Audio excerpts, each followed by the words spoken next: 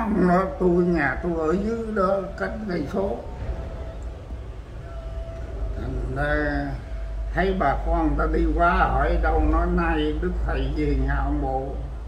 Ừ, hai tiếng đồng hồ. Dạ. Thành ra mới ờ, gác đi vì nhà ông hai với nhà ông ngoại tôi đây ừ, tôi tới đẳng cũng con cháu tự do đi đâu đi vô ra được. Dạ. Thành ra bữa đó lên thì ừ, mấy ông mới mượn đồ đạc, đồ bên đình tàn lộng đồ đó. Tặng chân hai bên nặng cho thầy đi lên. Ờ, thầy quở, thầy không cho. Thầy nói ờ, ông sáu à đồ đó là đồ của thần. Ha dẹp bên đi.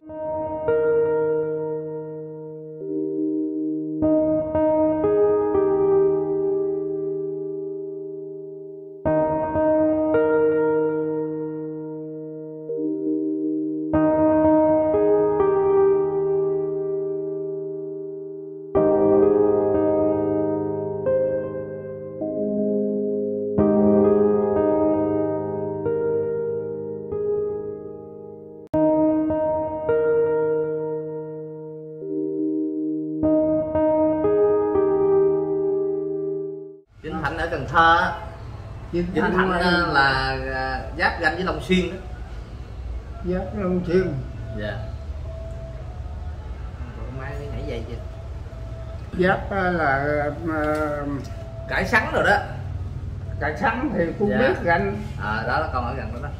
Thì à, hôm nay à, à, thưa quý vị à, thành hậu đến đây à, là ông à, ông là, là, là ông thứ mấy? Tôi thứ năm. Dạ ông thứ năm mà ở đây ta kêu là ông năm bốn hả? Ừ. là sao? Kêu năm bốn là sao ve lại là năm sáu? Kêu mà kêu năm bốn. Tại vì à, hồi đó à, tên ông bà không phải đặt tên đó dạ. Hồi đó ông ngoại tôi đặt tên Quang. Dạ. Rồi ra hoài à. Dạ. Rồi má tôi ra ngoài ừ, đám dỗ ờ, ngoài bà cốc tôi ngoài đầu á. dạ. Rồi má tôi nói ông ngoại ông ngoại sao sanh thằng này nó bệnh hoài à. Hỏi mụ ngoại nó đặt ờ, tên gì nó đặt. Anh nó tên bá nó tên quang. Bá quang. Dạ. Rồi ờ, bà cốc tôi ngồi suy nghĩ hồi bà nói hỏi ma mày mấy đứa rồi? Nói ờ, con bốn đứa. Mà sao sanh thằng này nó bệnh hoài à? Dạ. Rồi nói thôi tao đặt nó tên bốn. Nó Dạ. mạnh à? Dạ rồi nó động đây ông ờ, lúc bà đặt rồi từ đó tới sau mập ú tốt lắm Ừ. cũng cái tên cho mà cũng Ờ. rồi về, về đây mà chú sáu tôi ờ, bà con chú bác ông đặt tên lù ha Dạ. ông nói là bốn nó mạnh đặt tên lù uống lù đó ha Ờ, rồi mấy đứa đó ngạo này kia nọ tôi nói nó với nội nội xong mà ừ, đặt ờ, tên kỳ lạ rồi. Rồi nói mà hồi đó tôi mạnh lắm. Dạ. Cũng biết ờ, mắc cỡ rồi. Dạ. Rồi ờ, nói thôi bây giờ ừ, tại xấu thấy người ta mới đặt vậy. Ha. Mấy đứa mày muốn quánh lộn thì cũng quánh cua hồi đó mà lớn hơn bốn năm tuổi cũng quánh cũng ăn dạ. Ha. dạ Rồi thì à, bữa nay con tới đây á, là trước là thăm viếng à, mộ ông bộ. Ừ. và sau thì à, tới đây thăm ông. Ừ. và cũng nhờ ông kể vài mẫu chuyện ông biết được lúc mà đức thầy xuống đây. Ở đằng nhà ông bộ thì ở đây là nhà của ông hồi xưa giờ luôn hả ông năm? Thì nhà này của ông ngoại tôi. Dạ. Rồi cái thời ly lạc rồi ông ngoại tôi đi lo cho cụ chính tôi rồi kẹt ngoài thơ xin hỏi ông ờ, ông năm vậy ờ, lúc đức thầy xuống đây đó ông có tới lui ông chơi biết đức thầy không ông năm? Thì nói nào ngay ờ, chiều thì bà ngoại tôi tắm rửa sạch sẽ rồi mới lại đặng thì thầy đeo sợ to, to chỉ trắng là chàng nắp về thầy dặn đừng có chung thầu quần áo dạ thầy cho ông ha. Ờ ta chính là tay thầy cột thua nha thành Dạ. ra cái dây đó còn không ông năm làm sao không còn thời gian mà chỉ trắng thời đó Ờ, tới thời này à, tám có, à, mấy đức- năm rồi. đức thầy còn cho ông cái gì nữa không ông năm? Không có có cho gì? cho gì có lợi đó thì có lần đó vậy đó rồi sau còn mà về à,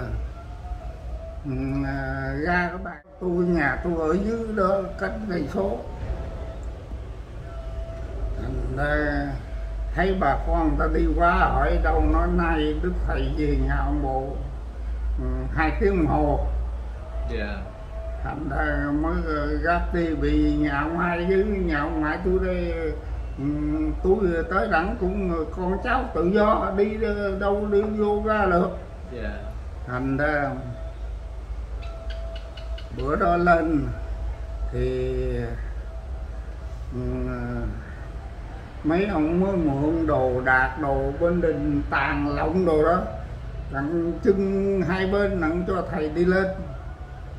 Ờ, thầy quở, thầy không cho. Thầy nói ờ, ông sáu à đồ đó là đồ của thần. Ha, dẹp bên đi. Ý đức thầy nói, thầy là phật đồ của thần là thầy không chịu đi nói ông mà không dẹp là tôi xuống đò gì đi chỗ khác. Thành ra mới dẹp tình ờ, có làm khán đài đồ lên thầy đứng diễn thuyết ha, hai tiếng đồng hồ. Ừ, không có dùng cơm à, nói ông bộ bữa nay đi bên cả nhung. Ừ, đường này đi qua bển có lẽ gặp ông bộ. Thành ra là à, bằng đó có ông ngoại tôi muộn đồ bên đình đồ tàn lộng đồ mấy chú biết mấy đình Dạ. ở trên cho con đó. Dạ. Đó thành ra để nó à, trưng dọn này kia nọ thầy không cho. Dạ. Thành ra đi cái ghe lường của đức ông ở sau bây giờ còn để đó. Dạ. À, mấy chú biết cái ghe đó gần mà. Dạ dạ con có biết mà hồi đó là ghe quay ngang về rồi giờ quay xuôi đâm mũi vô. Nhà, nhà à, Tổ sao đình ha dạ. Vậy là lúc đó đức thầy xuống đây ờ, là lâu không ông năm? Ở nhà ông bộ á lúc ở nhà ông bộ á. 70 ngày hai tháng 10 ngày. Hai tháng 10 ngày. Dạ. Thành ra ông hai điều thì ông cãi với tôi tôi nói chính là hàng dân ở đằng này con số phi nó có làm việc đó nó cho tôi cái thẻ giảng là ấy đó là kể chi tiết đó là hai tháng 10 ngày. Dạ. 70 ngày. Dạ mua ở đây. Rồi à, lúc đó ông bộ á, nghe nói ông bộ ông à, đức thầy trị cái bệnh mà ghiền ốc phiện gì đó có không ông năm? Có chứ hồi đó ông hai tôi thì ấp phiện ờ, nặng lắm. Dạ. Mà hồi đó không phải là đức thầy về nhà ông bộ ha. Dạ. Mình ờ, nhỏ tuổi mình ở đây mình nói là một hai ờ, ờ, pháp nó đưa thầy về nhà ông bộ chứ không phải. Ở ngoài nhà ông cải trí ở ngoài này phía bên sông. Dạ. Thành ra lúc nọ thằng cháu tôi ở trên cù lao ông trưởng làm xuôi dưới ờ, con của anh mười đò ảnh rồi lúc trước ở sáng mới rồi chạy lên ờ, cù lao cát rồi ảnh có ừ, đưa đò qua lại sông dầm long dung đó. Dạ. Tôi nhớ hồi đó ở dung chủ qua lại có đi đò ổng về ba lần gì đó. Thành ra ông mới thực chuyện tôi bữa đó giáp lời. Thành ra ở bên ờ, cù lao cát đi chỉnh rồi mới hỏi ừ, mình bà con với ông bộ hỏi bà con sao ông mới nhắc cái sự tích mà hồi đó đức ờ, pháp nó đài thầy về đây đó là ở nhà ông cả chí. Bởi vì chứ trước ông cả nó lớn hơn cái trước ông bộ. Hương ha Ừ. thì ông cả nó gồm hết ở trong xã dạ. Đó là ông mới nói hồi đó pháp nói đài gì đó là ở nhà ông ta chí ba ngày. Bữa đầu thì à, bận khách ông cả không có vô. Bữa sau thì ông cả vô nói Phật thiệt rồi ra ông bộ ra quê bởi vì ông cả thầy lớn tuổi hơn ông bộ ông bộ nhỏ tuổi hơn chú chứ ông chú hai. Dạ. Ừ, thành ra bữa đầu thì ông nói gì ông bộ làm thinh à. Dạ. Không có nói gì hết á. Rồi qua bữa thứ ba thì ờ, ông cả mới thấy ờ, giờ ít khách rồi thầy vô mùng mua nghỉ rồi thì ông cả mới đi vô. Hồi đó ông mãi vô đây có cầu ngang nhà ông bộ qua. Thì ông cả mới qua nói ngồi nói chuyện với ông bộ nói Phật thiệt rồi ra quy rồi ông bộ nói chừng nào Phật tới nhà tôi tôi mới quy dạ. Thì ông bộ nói rồi, rồi, rồi dứt tiếng thì thầy đứng sau lưng vỗ vai ông bộ nói thôi vậy đồ đạc ở ngoài nhà ông đó biểu người ta dọn vô đây tôi ở nhà.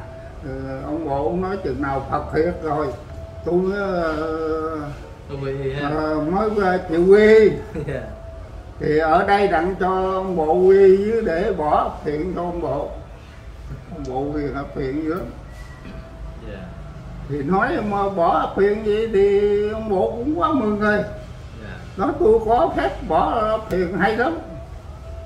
Đó thì ông nó ngồi nói vậy đó thì ờ, mới nói ông cả thôi đồ đạc ngoài bà con ở ngoài hút thuốc rồi đó vô đây. Đó thành ra mà tu Phật thiệt chứ đâu Phật Phật giả ha. nên ông bộ nói Phật thiệt tới nhà tu tôi mới quy ở đây rằng cho ông bộ quy. Dạ. Giữ bỏ phiền ông bộ. Thôi còn nhiêu thuốc đó ông hút cho hết đi để bỏ nó uống. Chừng nào ông hút thuốc rồi tôi có phép bỏ phiền đại tài rồi. Dạ. Thì bữa đó mới làm à, hết ờ, rồi đó mới biểu vào bộ ừ, à, đưa ba ông mùa rồi bằng ngón tay thì thành ra, ông bộ mới thành ra ông coi vợ tôi thầy sao mà buồn của thầy sao mà không có chữ nghĩa chân hả? Nó vàng nó Ờ. vàng ha ở dưới vàng đó. Đó thành ra ông bộ phần ra coi nói bùa linh nói vậy đó ông bộ ơi uống đi. Ông uống hết là uống. Đó là bữa nọ ông uống thì lúc nọ lúc nọ ông bộ với bà bộ nghĩ là thầy là một người tội pháp nó đưa vô đây ừ. chứ không có nghĩ là ừ, thầy là phật Ừ. đó thành ra mới để ờ, đức thầy ngủ ở nhà dưới mà nhà dưới hồi đó ờ, năm căn nó cột chàm một ôm như đó Ừ. tôi biết gần lắm đó là bữa đó ờ, đưa bao mùa uống uống tới khuya 12 giờ nó quậy ông quá đi ha. Ừ. rồi mới xuống ờ, biểu bà, bà bộ và xuống dưới coi. Hỏi thầy coi có ờ, thuốc gì uống nữa không? Chứ giờ nó quậy quá rồi ha. Đó thành ra cái cân gì nó quậy ông quá ông chịu nổi mới xuống vậy thì bà bộ bưng đèn xuống thì dở mùng lên. Thấy ông già gâu mà tới ngực gì nằm ngủ trong ghế bố. Mới ờ, quan hồn là bưng chở đèn lên nói ông bộ sao thầy đâu mất tiêu hờ có ông già nào ông ngủ trong mùng nào ông xuống coi ha. Thì ông bộ đồ mới ừ, cái cơn đau đó cũng hết. Mới chạy xuống bưng đèn rồi xuống hỏi cửa nào đồ còn không? Nó còn nguyên không có gì hết đó, thành ra ờ, dở đèn lên thì dở mùng lên thì thầy dung dai cái thì thầy ngồi vậy nó không bộ biết tôi ai rồi không bộ à thành ra mới là lật đật dọn vô nhà trên, lên nhà trên ngủ, vô phòng riêng của thầy ngủ chứ không có dám để ngủ gì dưới. Thành ra vợ chồng bộ biết là đức phật thầy te ừ ha nên câu dài rồi nè. Dạ. Cho thành ra ừm, rồi thầy hỏi ờ, ông bộ biết tôi ai rồi? Nói vậy biết rồi ờ, ông bộ và bộ biết giật mình biết là đức phật phật thầy te rồi. Dạ. Đó mới ờ, dọn đồ lên nhà trên ngủ chứ đâu có cho, cho ngủ như dưới. Theo ở đây thì bà bộ đồ tới lui đây thì cũng có kể vậy như cái bữa nọ thì à, có ông cai mậu bên đây ông là giàu khó nhất bậc phải ờ, thầy trai mà. Thành ra bữa nọ thì thầy mới nói với ông bộ ừ, đi ngủ rồi. Thầy mới nói ông bộ môi ờ, ừ, tu qua nhà ông cai chơi. Yeah thành ra ông bộ hỏi thầy, ở trên xuống đây ờ, làm sao thầy? Hồi chiều thầy không nói, sớm tôi kêu hai người ta đem ừ, đẩy ghe hầu xuống chèo tôi với thầy đi. Ờ, ông hai tôi hồi đó có ghe hầu đi quan huyện đồ ngon lắm, ha. Đó, thành ra thầy nói, không, tôi đi mình ăn tôi à. Ha. Rồi sáng ra thì ông bộ cũng hỏi ờ, Ừ, chừng nào thầy đi ờ, đi bộ, tôi đi dưới, nó không ông đi theo tôi bất tiện lắm, tôi đi mình anh tôi à. Rồi ờ, thầy mới trả lời với ông bộ ông biết ờ, nhà ông cai đâu mà ông đi. Nói tôi ở trên tỉnh, tôi còn biết đi lần xuống đây tới nhà ông, còn còn đây qua nhà ông cai để tôi kể cho ông nghe nha ở ngoài giàm để đi vô chừng trong ngoài thước. Thì à, thì nhà ông à, ở phía bên mặt trời mọc, còn nhà ông cai à, trong gạch ở phía mặt trời lặn. Mà nhà ông cái cầu mát bằng cây, còn nhà ông cai cầu mát đúc, nghe ông bộ. Mà cây cầu ngang bắc phía trong nhà ông cai còn nhà ông đây bắt ờ, bắc phía ngoài này. Ừ. Thành ra tôi kể như vậy ờ, ông thấy đúng không? Mà ông cai hai ba cái nhà cho một tròn chứ không phải một cái nha. Đó thành ra hỏi, hỏi chừng nào thầy đi nói mình ở bên đây ăn cơm ăn nước rồi hồi cỡ 10 giờ ở bển cũng 11 giờ người ta mới ăn cơm ăn cơm rồi người ta vào có người ta ngủ giấc rồi người ta mới thức. Đợi chừng nào ông cai thức rồi tôi mới qua. Dạ. Ừ. mà đi á thì thầy mới biểu vô ở trong kẹt bồ lúa đó ông lấy cái bộ đồ ông đi ruộng đó với cái nón mà ông đội đi ruộng đó ông ba cái nón lá rồi cái nón đi chợ cái nón đi khách cái nón đi ruộng mà ông lấy cái nón đi ruộng cho tôi. Trong kẹt bù lúa ờ, ông nói tôi không biết hả? Kẹt làm lúa. Ông ờ, ông bộ lấy ra cái nón đi xóm đồ thầy không được thầy nói "Ừm, đi bộ đồ này ờ, nói trời ơi, nhà người ta giàu có bậc ờ, thầy trai mà ông ờ, ừm, hèn hạ nó không. Tôi đi bổn phận của tôi. Đó thì qua. Thì thầy qua tới thì ông cai vừa à, thức dậy ra luôn nước súc miệng thì gặp gặp đức thầy thì thấy ông già ha. Ờ, hỏi ông ở đâu? Nói ờ, tôi em vợ cái ông mà ở trong đông pháp trong đất của ông ở trong ờ, ờ, ngã dầm bi đi vô đất ông nhiều lắm. Đất mấy chục ngàn công gì đó. Đó thành ra tôi em vợ ông đó, tôi có ba thằng trai lớn muốn tới đây để muốn đất. Ông rồi nói sao ông đó không dẫn nói ông đó bữa nay mất đi đám dỗ đâu đó. Ừ, không có rảnh. Thành ra ừ, à, lúa thì à, công thì năm dạ. Còn lúa dây thì hai mươi. Thì chả à, lúa ba bốn dạ gì cũng không được năm dạ mới được. Mà còn lúa dây 20 thầy trả tới 17 18 gì cũng không được hết trơn ờ, như vậy? Không được thôi vậy tôi kiếm gì à? Mà cái nón lá đó thầy mượn của ông bộ gì đó thì út trên cái ghế bàn bên này. Còn bộ đồ đó thì lột dắt ở trên ghế giường nghỉ đó. Uhm, bà bộ đồ dẹp uh, thầy không cho. Thầy nói để môi cho ông, ông cai ông qua ông nhìn cái nón với bộ đồ của ông bộ tôi mượn của ông bộ. À, không phải bộ đồ của tôi để uh, qua đây nói uh, tôi đi qua nhà ông cai mà, mà tôi có đi không? Yeah. ha. Qua thì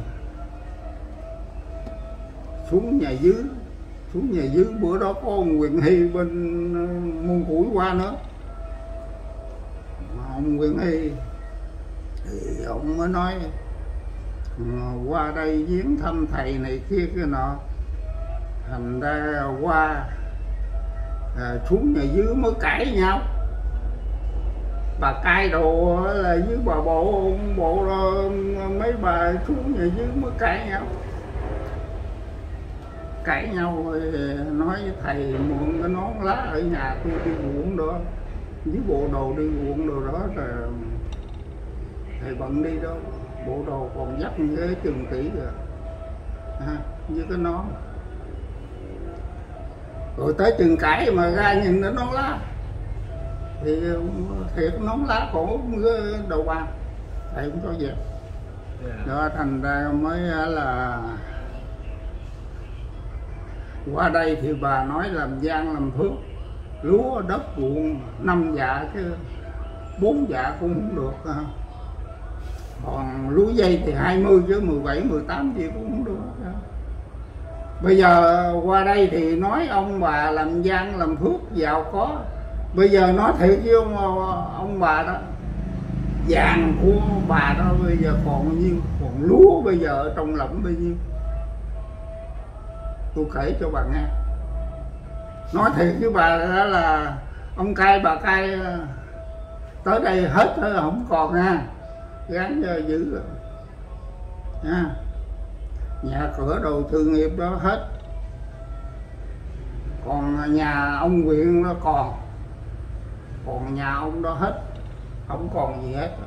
Yeah. mà hỏi gì chứ ông Nguyên Hy ông ông đóng bảo kê mà ai biết thì nhà mình sau sau này kia kia nọ, làm tốn kém bao nhiêu đó, thì xảy ra cái gì, sập hay cái gì đó, thì bảo kê nó thường đó thành ra là ông Nguyễn Hiên mới nói dạ thưa thầy, nhà con có đóng bảo kê còn hả thầy? Ờ nói nó còn còn là nữa nó thường cho chứ không còn gì đâu ông ra, ông ờ, Nguyễn à. Tới đây rồi nó không còn gì hết à tôi viết ở trong giảng đó. Giàu sang như nước trên nguồn, gặp cơn mưa lớn, nó tuôn một giờ, chứ nó không tới một giờ nữa không? Trời ơi, mình thấy hồi lúc phá hoại nhà ông bộ đang không tới giờ một bằng đĩa có mặt tôi tôi lúc nói lớn. Rồi mười mấy tuổi biết rồi. Ừ mà thầy nói cái đó là trừ hao, chứ không còn gì hết nên ờ, cái ờ, bận mà bảo kê nó thường là ông ngoại tôi đi, chẳng có lợi thăm, ông có hình như ông ngoại gì ờ, khoe với tôi là bà con ở nhà có, ông Nguyễn Hy có cho anh số gì đó. Bởi vì ông ngoại tôi là người coi đất ông.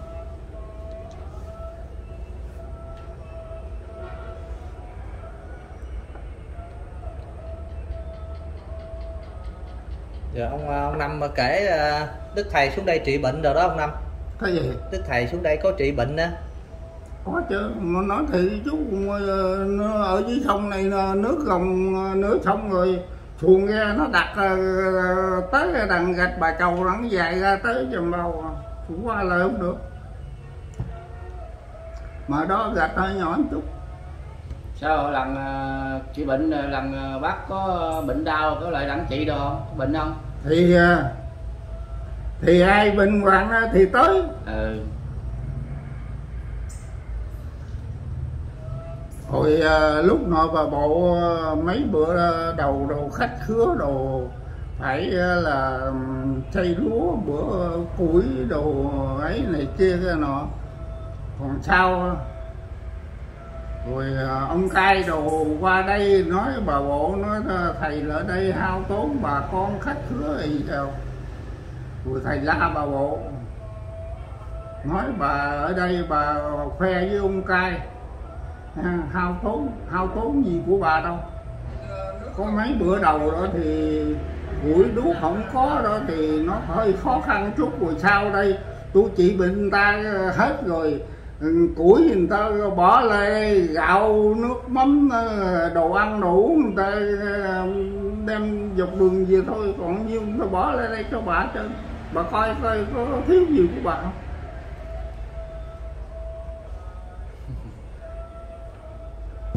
Thành ra cái đó thì bà bộ thì cái ý bà cái gì ai đem cho bà thì bà chịu lắm. Còn cái gì mà thất ra là bà không có chịu. Ừ. nên tôi ở đây bà con ruột tôi biết rằng lắm. Nên cái vụ đó người lớn đồ thực lợi rồi rồi thầy nói vậy rồi mình mới ờ, bà già tôi hồi đó khách khứa đông đó. Thì ở dưới ờ, nhà tôi ở dưới cái làng đó chừng cây trên đây dưới chừng cây số, hơn cây số gì đó. Thì khách hứa lợi đông thì ông hai tôi nhắn má tôi lên, nấu cơm nước. Má tôi nấu cơm khéo lắm, thí dụ mà khách lợi bao nhiêu người đó. Nói rồi thì thì bà hút gạo này kia kia nọ đó rồi ừ, bắt nước này cái nọ lên sôi rồi gạo mình rút này kia cái nọ rồi đó thì mới đổ vô, chảo hồi đó chảo lá sen. Ừ. thành ra chúng là là à, nấu khéo lắm. Thí dụ mà lợi mấy chục người vậy đó thì giờ, giờ hồi đó là dở ra trong thuốc dê đó. Rồi thí dụ ờ, thầy đồ dùng cơm đồ rồi má tôi nấu cơm cháy khéo lắm rồi ông bộ đồ cũng lấy miếng ờ, chia cho thầy ăn nữa ha. thì nghe người lớn đồ kể là vậy đó bị bà già tôi nấu cơm hả Ừ. đó thì cũng có kể là vậy thành ra ờ, nói ăn cơm rồi cơm cháy là ngon quá thầy ờ, ông bộ lấy ờ, ra rồi khách khứa gì đó nhiêu đó là ăn họ ăn cũng vừa ngắm còn để ông bộ để người ta nấu thì lớp khét rồi lớp ờ, ăn không được cơm cháy thì khét ngạt á. còn má tôi nấu khéo lắm. Thí dụ chảo lá sen vậy đó bắt nước lên sôi. Sôi rồi gạo mình rút lên rồi bao nhiêu gạo đó rồi đổ vô ờ, phả lại về rồi nước. Đổ như vậy đó là vừa đậy nắp lại là sôi lên là dở lên là khỏi còn thí dụ nó có dư nước, mình có cái giá, múc bớt ra, để thúng, múc bớt ra. Hồi thở đó thúng không, đâu có ấy.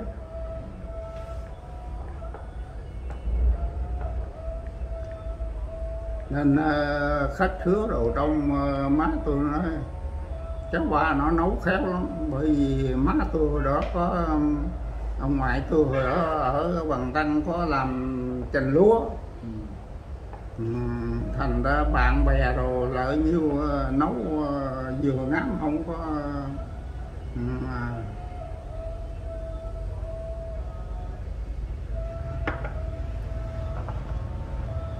chứ thật sự thì à, thì vợ chồng ông bộ mà cái bữa uống ốc ờ, phiện đó mà thầy cho thuốc đó là lúc trước là tôi nghĩ vợ chồng ông bộ nghĩ thầy là một người tội pháp nó đài về đây vậy thôi chứ không có nghĩ là thầy là phật. Ừ. nói gì đó. Ừ. theo mình suy nghĩ vậy đó. Chừng nào chị bệnh thấy hết rồi mới tin ha. Ờ thành ra bữa mà dở mùng lên mà gặp ông già đó rồi thầy dùng da ừ, một hồi thầy mới dung vai thầy vuốt mặt ờ, ra ông ờ, thầy mới hỏi ông bộ ông biết tôi ai rồi mới quản hồn đâu có dám để cho người ngủ về dưới ừ.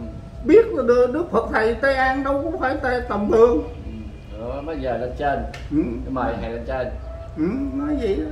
mới dọn là lên nhà trên đó.